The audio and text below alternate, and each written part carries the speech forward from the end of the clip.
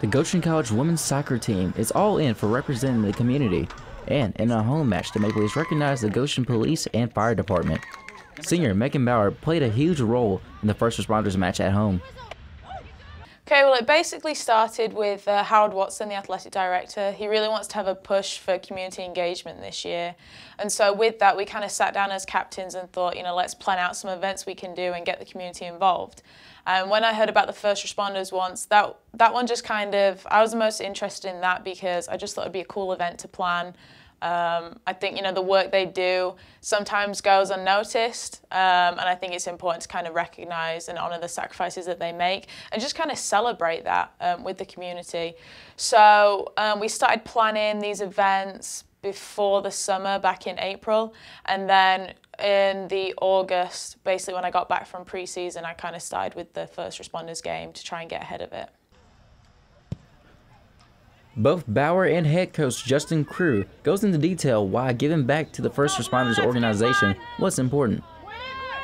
Uh, you know, I think it's just just something they do so much for our community. You know, the the police and the firefighters, um, and the EMTs and the ambulance people and those things. So, um, just decided to do something to try to celebrate them and thank them for all they do for us in the community. Yeah, we thought it'd be really cool if we had half the team were warming up in the fire department shirts, they were the red ones, and then the other half in the police department, which were the navy ones. And we actually spoke to Amanda Heckerman, who's a player on the team.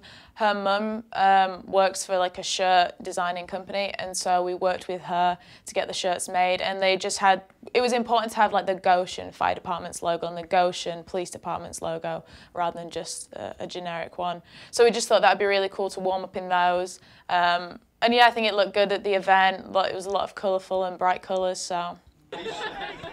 The Maple Leafs not only hosted a charity match for the first responders, but also secured a victory over Cleary University, winning 2 to 1.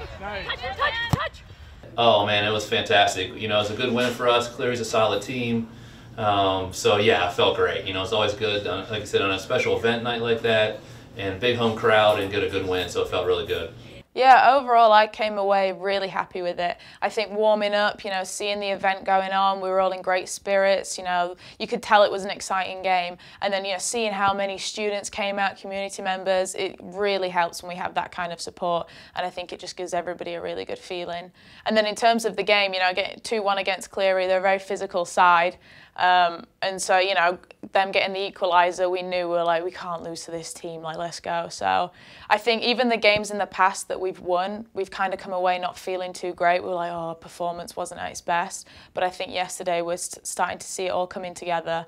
And so I think, you know, we're, we're really happy with the win. Never satisfied, you know, we always want to take it to that next level. But overall, I think we came off the field feeling really good with the win. Two really nice goals. Uh, Emmy's first goal for Goshen, and then Bia's, like, I think that's the second goal, but very nicely done. So, yeah, came away overall with the event, really happy with the win and, and the event as a whole. So, overall, it was a success. The First Responders Charity event will not be the last of the season as Coach Crew has more dates in mind. No, so we've got a few more. Uh, we're going to do Pediatric Cancer Awareness Night on the 21st, and then we're going to do Breast Cancer Awareness Night, and then we're going to do like a local GYSO with the with the local um, Goshen Youth Soccer organization too. So, a few more coming up. Yeah, just again, a big thank you to all the students and community that came out. You know, it does make a huge difference.